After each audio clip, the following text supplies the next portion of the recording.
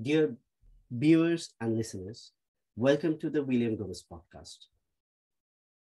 Today, more than one in every four children in the United Kingdom lives in poverty. When kids grow up poor, they miss out, and so do the rest of us. They miss out in things most children take for granted warm clothes, school trips, having friends over for tea, they from worse in school and earn less money as adults. However, poverty is not inevitable. With appropriate policies, any child can succeed in life and will, and we all benefit from a stronger economy and a healthier and more just society.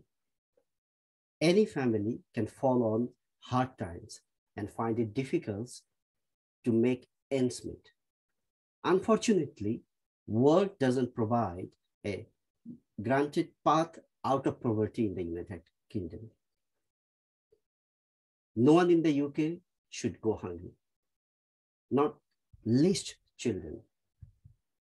Good, nutritious food is a right, not a privilege. Councillor Bob Webb will deliver a speech on the issues of right to food, poverty, and its impact on York's children. Bob Webb is a City of York councillor.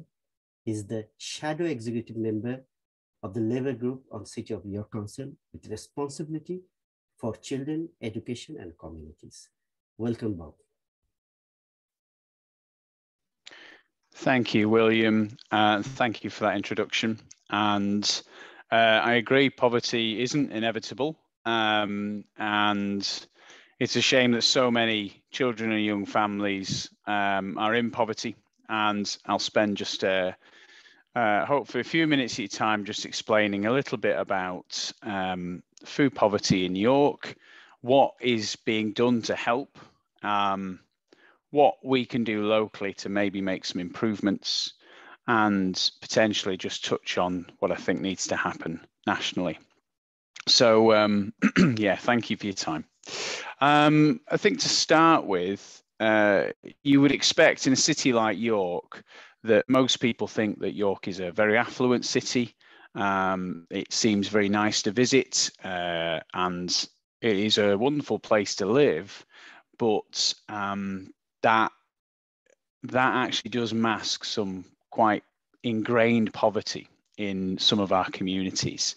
Um, and this really does affect small but definitive groups of people. And I think as a city uh, in York, because it affects small groups of people and doesn't affect large groups of the population in a way that there is there are some worse factors there because you're in a situation where we don't necessarily as a council get the the money to support those families in the way we'd want. Um, and i think no matter what colour of party you are in york you'd probably agree with the fact that york doesn't get funded like it, other authorities do.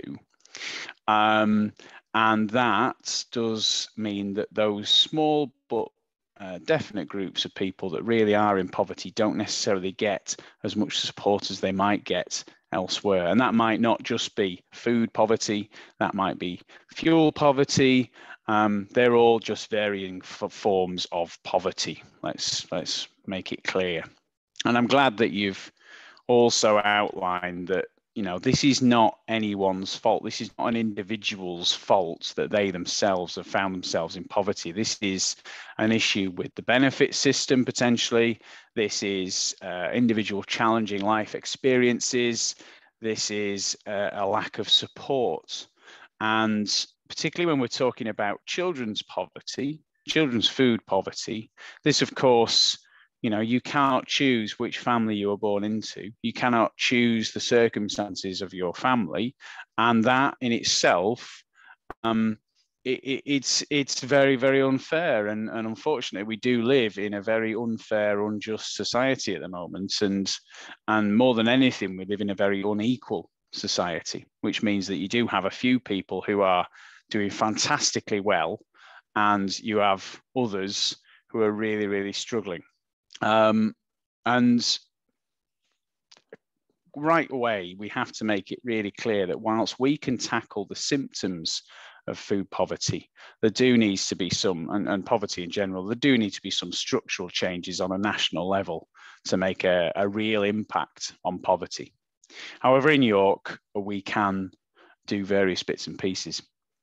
And one of the the key things that we have uh, done in York, and one of the key reasons you invited me to speak today, was that uh, in October, um, before Christmas, uh, the Labour group proposed a motion at our city council meeting um, on the right to food. Now, we are not the first place to do that in the UK. In January last year, Liverpool City Council passed a similar motion. Um, Ian Byrne, uh, the Labour MP for Liverpool West, has also been, really, really pushing on this uh, nationally on what uh, almost a, a, new deal for people um, and food poverty uh, might look like, and really trying to tackle the, the reasons behind injustice in food. Um, so it's not just something that's uh, popped up in York, it's something that's happening in lots of places. I know the Cooperative Party as well have been doing quite a lot of work on this issue. Um, and then closer to home in York, we have a, a situation where we've got lots of great organizations doing great work to support people um, who are uh, experiencing the symptoms of poverty. So whether that is um, in my own ward, you've got Tangor Food Co-op that are providing um, an excellent uh, service to people to try and get low cost quality food uh, onto people's tables. Um, you've got uh, Bell Farm Social Hall that is doing excellent work in really, really working with, with groups and communities that are really, really on the margins, really, really isolated in a lot of cases, but they know their own community and they're serving that community really, really well. I mean, they shouldn't have to, they shouldn't need to. Um, the system should be um, appropriate for them. But right now, um, people are really suffering. Um, and communities across York are stepping up. I've named a couple. I mean, there's Kitchen for Everyone, and there are there are a great deal more. And of course, throughout the pandemic, um, more of these organizations have, have, become more and more important. More of them have become more and more effective.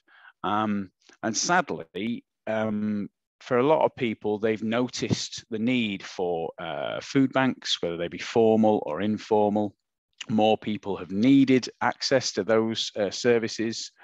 Um, and that it's, it's, I mean, it's good that people have noticed but it's important to remember that a lot of these these need this this food poverty existed long before covid. Um, and whilst covid has certainly shone a spotlight on the need of some people um, those issues have existed in britain for a very very long time. Um, as well as that the fact, I suppose, food bank use has increased, and this is this is from the Trussell Trust. This is the formal food bank use.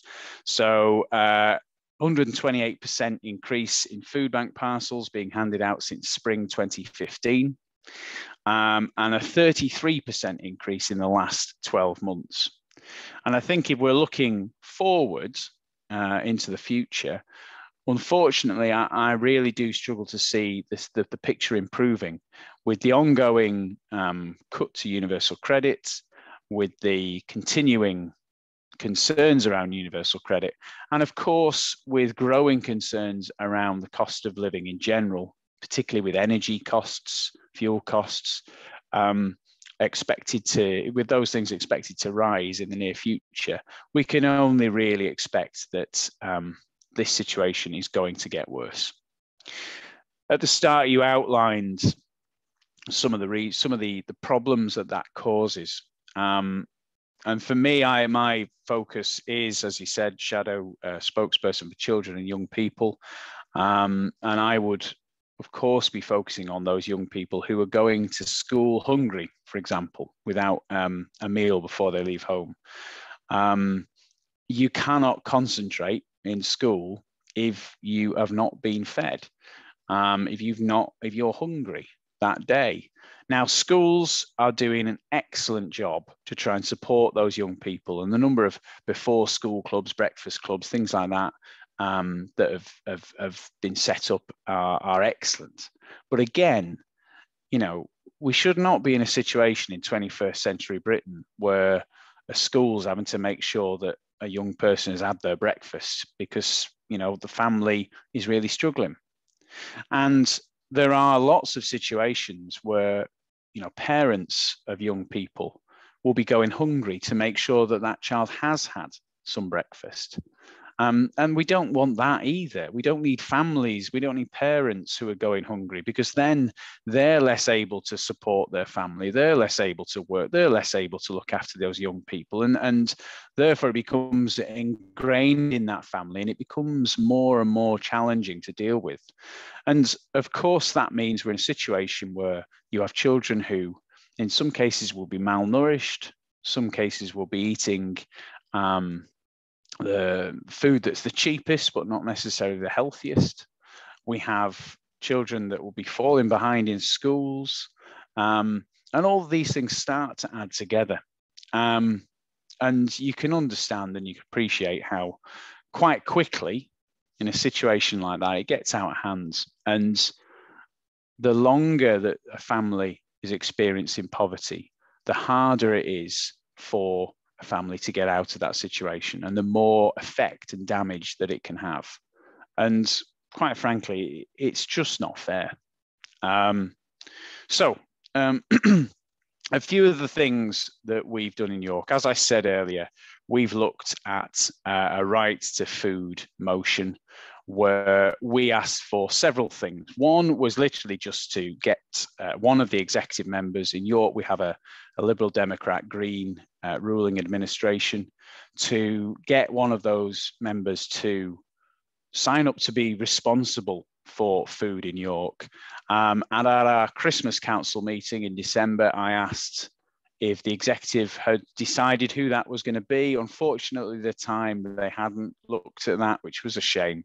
But since then, and that question that I asked, uh, I have now been told um, that Councillor Runciman of the Liberal Democrats and Councillor Craghill of the Greens will be jointly uh, working on this. Um, I'm not sure how that's going to look from them yet, but we have some asks, and they are that they designate the local area coordinators as food justice champions to make sure that they those people who work closely with vulnerable communities are aware of what food options are available in the city and make sure that the, the two are connected. Um, that we take all of those individual groups who are doing great work and bring them all together along with vulnerable people along with stakeholders to say well look how can we better distribute this food? How can we work more closely with each other to try and um, make sure that we're covering as much of the city as effectively as we can? Um, as well as that, um, we want to really speak to um, speak to formal food banks and informal food banks and speak to their users and see, you know, has has use increased? Is there anything missing? Is there anything that needs improving? How can we help um, to improve people's daily lives, really? Um, following on from that, one thing, and I was I would make a plea here. There is something called the Healthy Start voucher, which um, anyone experiencing poverty, and if you go to the government website and search for Healthy Start voucher, you can find the the exact criteria. But for families with children under four, they're entitled if if they're experiencing poverty um, for vouchers for things like fresh fruit, veg, milk um, for those young children. Currently, York, I think our our, um, our uptake of that is about 53%. Um, and obviously, that means there's lots of, there's 47% of young families going without that help that they are entitled to. So we need to advertise that and make more people aware of it. Um, the council is the Liberal Democrat Green administration is committed to the idea of community hubs. And for me, if those are going to work in communities like the one I serve, then they need to have a food offer and they need to be helping people. um, with that food. So for me, I would really, really hope that we um, can push forward on that community hubs agenda with a focus on food. And I know through my work on the scrutiny committee in York for children and young people, that's something we are pushing for. Um, and I think for me, on a wider level, what I would say is the UK has a real issue here. The UK has committed to the UN sustainability goals, um, uh, sustainable development goals, sorry, of ending hunger by 2030. And that is going to take a huge amount of effort. But there are things that this country can do. And I would really strongly advise people to, to, to take a look at that sustainability goal and to take a look at the work that's being done um, around uh, food poverty around the country because I think that there's work that can be done to improve our farming um, processes. There's work that can be done with supermarkets to look at how much they're charging for food, how much of their food is wasted. Um, and I really do think that there are many things we can do to support families. But one of the key drivers is thinking about um, why it is that people can't afford that food. And I think it is, quite frankly, because we have an incredibly unequal society. Um, we have some jobs that pay very, very well and some jobs that just don't. And fundamentally, any form of food poverty or fuel poverty or period poverty, whatever it is, it all is just poverty.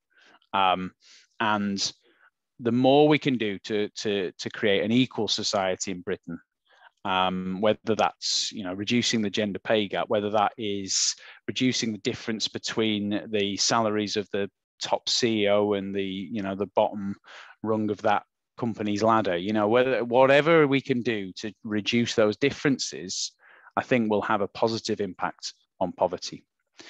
Uh, so, in summary, there are great organisations doing great things in York. What we want to do is bring them together, get them working together, speak to the vulnerable people who are experiencing poverty, see how we can best help them.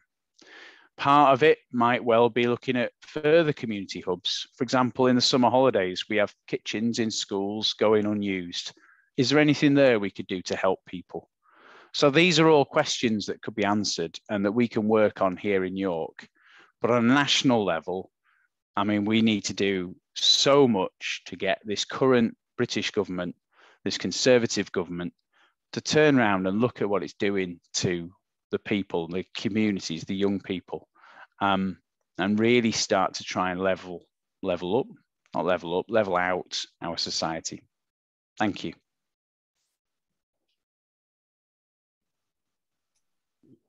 Thank you. Thank you for the thank you for your time and insightful speech.